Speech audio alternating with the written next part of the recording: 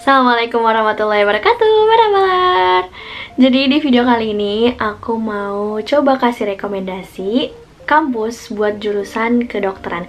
Jadi waktu aku upload video kemarin yang uh, jurus rekomendasi kampus untuk jurusan bisnis Aku dapat beberapa komentar dan DM yang minta juga untuk uh, rekomendasi kampus buat jurusan lain.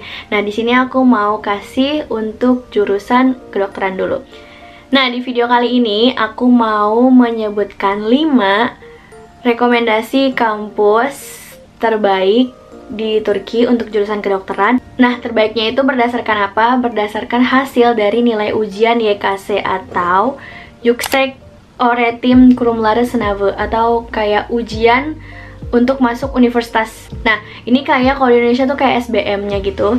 Jadi kayak uh, nilai untuk mendapatkan jurusan kedokteran itu butuh uh, nilai berapa dan poin paling tinggi yang bisa didapat dari ujian YKC ini adalah 560 dan di video kali ini aku juga akan menyebutkan poin atau nilai yang diperlukan untuk masuk fakultas kedokteran di universitas terbaik ini. Nah, kenapa mereka disebut 5 top? Karena dari universitas lain yang ada di Turki, 5 universitas ini adalah uh, universitas yang nilai untuk masuk jurusan FK-nya itu paling tinggi kayak gitu.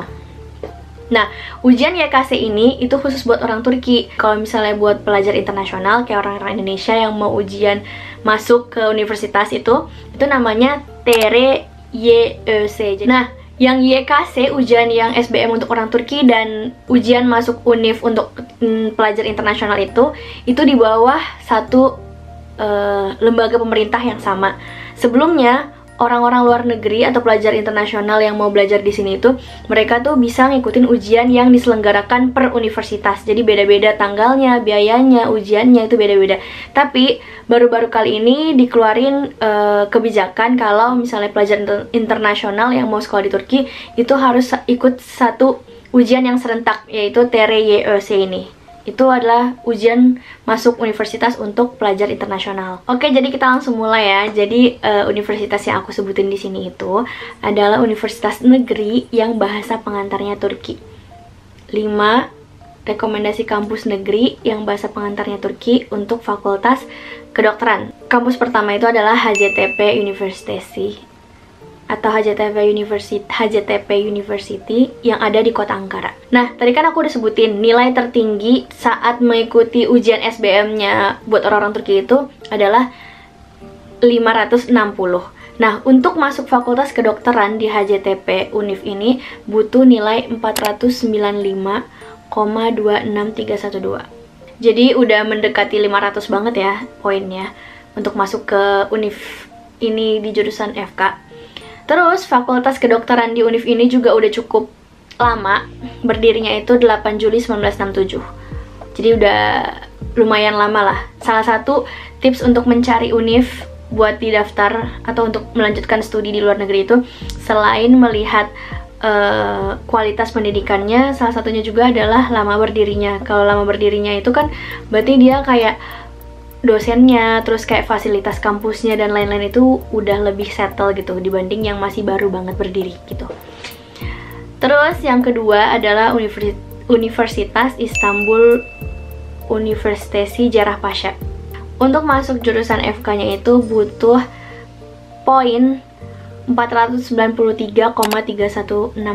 Jadi beda beda tipis sama yang HJTP. Nah, kampus ini dulunya adalah bagian dari Istanbul University. Jadi, eh, lama berdirinya fakultas kedokterannya itu bareng sama lama berdirinya kampus Istanbul Unif yang biasa. Yaitu 14 Maret 19 eh sorry 14 Maret 1827 which is yang tertua seturki FK tertua yang ada di Turki itu yang Istanbul University yang sekarang udah dipecah, yang udah dibagi jadi Istanbul Unif Jarrah Pasha. Nah, ini Istanbul Unif Jarrah Pasha itu poinnya yang tadi aku sebutin tadi. Terus yang ketiga itu urutannya adalah Istanbul Unif yang biasa. Nah, setahu aku Istanbul Universitas Jarrah Pasha ini emang unggul di bagian kedokterannya atau di fakultas kesehatannya gitu. Itu emang emang bagus. Jadi kalau teman-teman mau tertarik buat uh, ambil jurusan kesehatan, kedokteran itu bisa ambil di Istanbul Unif Jarrah Pasha. Itu terletak di kota Istanbul. Selanjutnya di urutan ketiga ada Istanbul Unif yang biasa. Untuk masuk FK di Istanbul Unif biasa ini butuh poin 484,00119. Seperti yang aku udah bilang tadi, Istanbul Unif Jarah Pasha yang ada di urutan kedua itu dulunya merupakan bagian dari Istanbul Unif, tapi sejak 2018 mereka uh, resmi berpisah jadi Istanbul Unif Jarah Pasha ada, Istanbul Unif juga ada, jadi pisah gitu. Urutan yang keempat adalah Angkara Unif. Angkara Unif ini kalau misalnya kita mau masuk FK-nya itu butuh poin 479,00367. Nah, Angkara Unif ini berdirinya juga udah cukup lama, bahkan lebih lama dari HJTP, yaitu pada tahun 1945. Terus yang terakhir adalah EG University atau EG University yang ada di kota Izmir.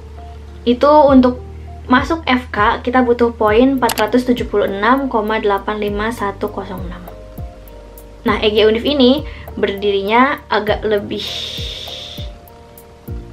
muda dari si Angkara Unif yaitu 1955.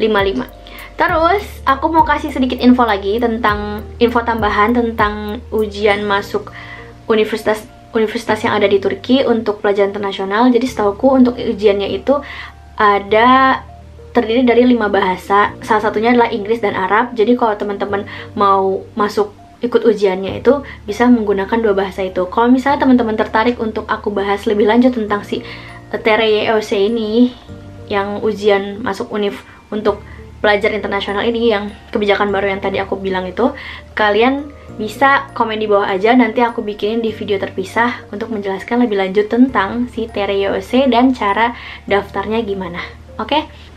Oke deh, mungkin segitu dulu video kali ini. Cukup singkat, semoga bermanfaat buat teman-teman semua. Kalau misalnya ada request video lagi, boleh komen di bawah ya. Sanraki video dah, bye!